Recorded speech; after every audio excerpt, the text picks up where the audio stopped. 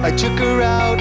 It was a Friday night. I walk alone to get the feeling right. We started making out, and she took off my pants. But then I turned on the TV, and that's about the time she walked away from me. Nobody likes you when you're 23, and I'm still more amused by TV shows. What the hell is ADD? My friends say I should act my age. What's my age again? What's my